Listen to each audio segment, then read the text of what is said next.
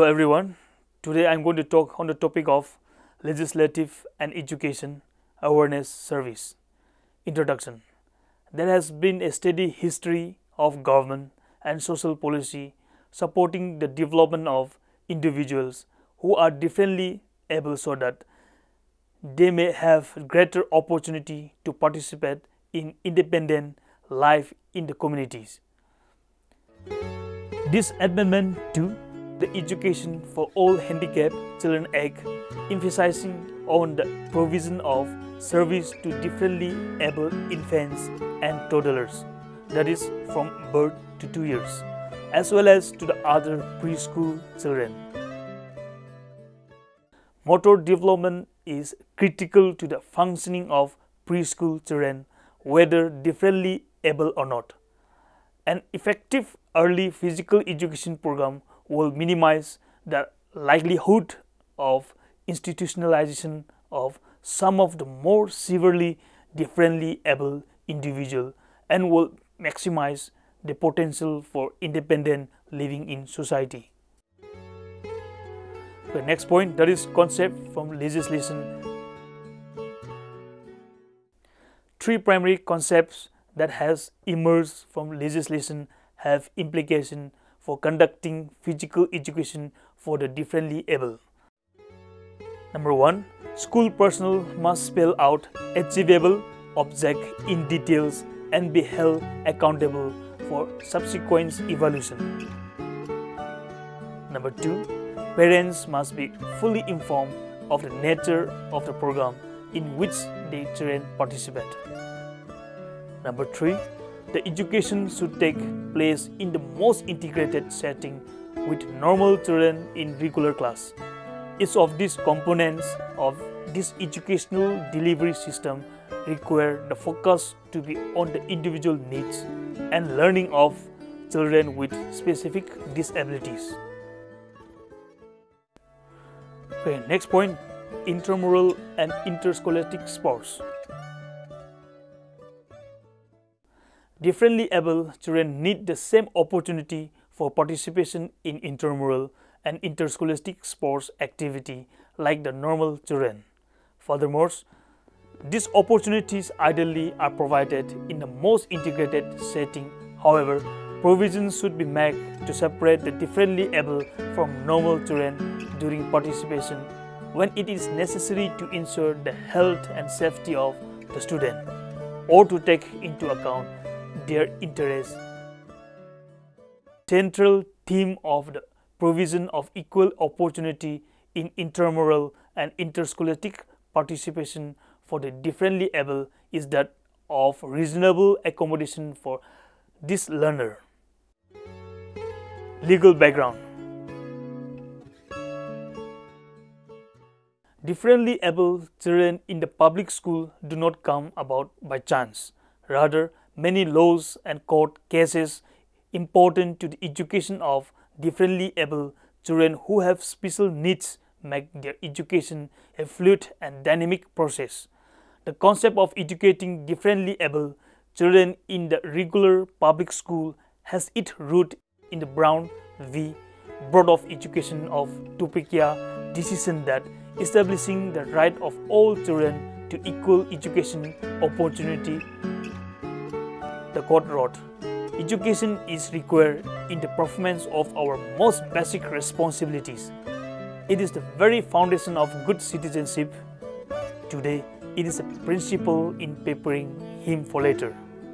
Training and in helping him adjust normally to his environment in these days, it is doubtful that any child may reasonably be expected to succeed in life if he is denied that opportunity of an education.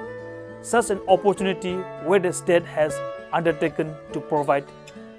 It is a right which must be made available to all on equal terms. Continuum of leisure restrictive environment. There are continua of leisure restrictive environments in educational settings and in the community.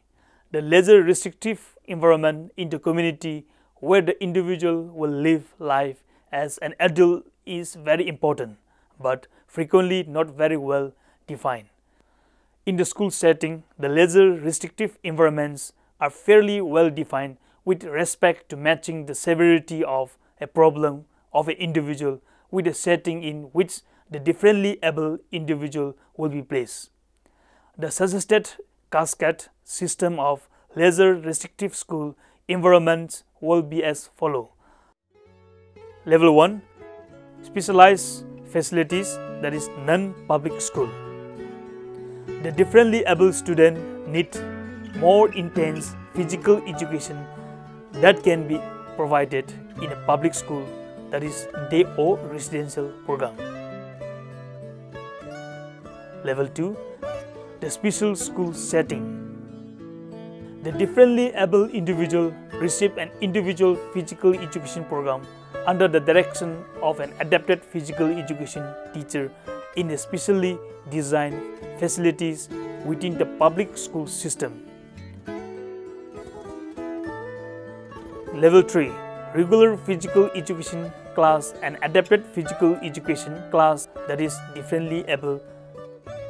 Differently able student receive the special physical education program under direction of the regular physical education teacher. In addition, the students spend time in a specially staffed and equipped adapted physical education setting. Specially staffed and equipped adapted physical education setting.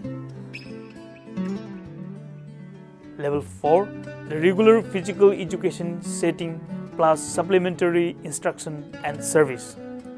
The differently able pupils receive the individual physical education program under the direction of the regular physical education teachers. In addition, instruction or services from an adapted physical education specialist is provided.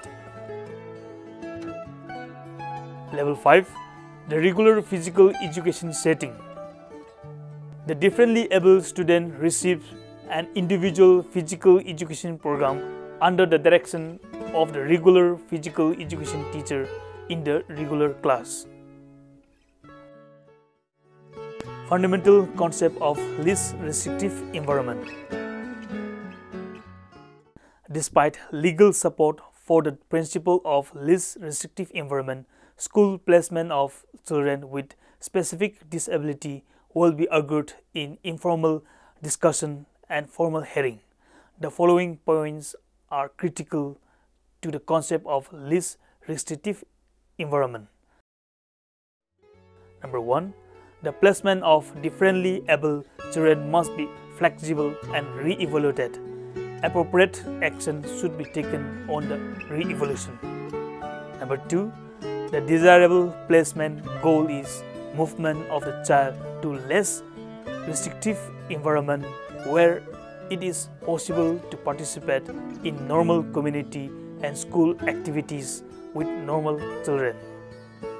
Number 3 eventual placement of the differently able in less restrictive or normalizing environments require individual program so that they can learn skills which allow for participation with normal children in normal settings.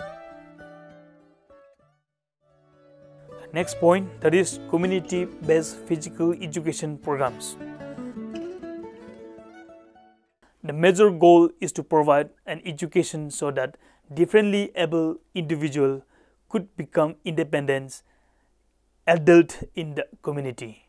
Prerequisite to independent living in the acquisition of the physical and motor skills that will enable a differently able individual to participate in domestic, recreational and vocational life in the community. The physical and motor skill attained in instructional setting in the school should be generalized into physical activity in the community. For the most part, normal individual can make adaptation to community recreational life. However, many differently able individual, particularly those with severe sign of differently able, may find it difficult to generalize what was taught in the public schools to community sports and physical activity. To overcome this problem, one of the recent initiatives that has been put front in education for differently able person is community-based assessment and programming, which is a system that provides specific curriculum context for an individual. The school curriculum focuses on behaviors and skills that an adult will be able to use in the community environment. This system requires that there should be a relationship between the differently able child curriculum and that of the normal child in the local school district and that the relationship between the school's curriculum and the physical, sports and recreational skill learned with permit independent participation in the recreation of the community. This well programming for differently able person match must be made on two levels community-based assessment and programming which assure the linkage between community, school, curricula and the needs of the child. Next point is normalization. Normalization means making available to the differently able patterns and conditions of everyday life which are as close as possible to the norms and patterns of the mainstreams of society. For this to occur society, views of the differently able must be consistent with the following condition. Number one, they must be perceived by society as human beings, not as subhuman. Second point, they must be perceived by society as possessing a legal and constitutional identity that is due process of law for involuntary institutionalization as well as equal opportunity in education, housing or employment. Number third, they must be viewed as person who can adapt to the environment and acquire skills for as long as they live. 4. They must be provided opportunity by society to take full advantage of the culture. Number 5. Services must be provided by trained personnel with technical competency in education and rehabilitation. Number 6. The human services that care for the differently able and provide opportunity for skill development must be valued and well understood by society. Number seven, the differently able must be provided opportunities to play value role and lead value life in our culture. Next point that is coordination of delivery of services. There has been considerably emphasized on the belief that program for the differently able should be of an interdisciplinary nature. However, according to Stone problem, have existed in the delivery of service within the system. Professionals within the system have taken on the role, functions, and goals of each other. This has happened because of inadequate planning or coordination and without consideration of the effectiveness of the various professionals in their new role. As a result, we have homogeneous professionals who no longer have defined expertise and programs that are less than desirable, although Stone was not addressing physical education specifically. His view may well relate to the coordination of physical education and the related services, that is, therapy. Role confusion can lead to duplication of service and some programs involved in other which ultimately result in a lack of comprehensive programming for differently able children. Public policy makers have assigned educational function to those who are to provide direct services and those who are provide indirect services. Direct services are those such as physical education that teach curricula section by school board and related service help differently able children gain benefit from the intended outcome of the direct service. Example, physical therapy, occupational therapy and recreational therapy. Next point that is the concept of related services. Before a related service such as physical therapy, occupational therapy or recreational therapy can be implemented in the curriculum, it should be determined whether the limitation of that particular child is such that direct service that is physical education cannot effectively deal with the child education problem.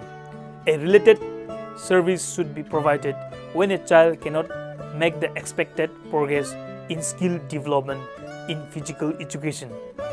For instance, if it is decided that a differently able child does not have the prerequisite strength of a specific muscle group to acquire a sport skill and that the physical educator cannot rectify the problem.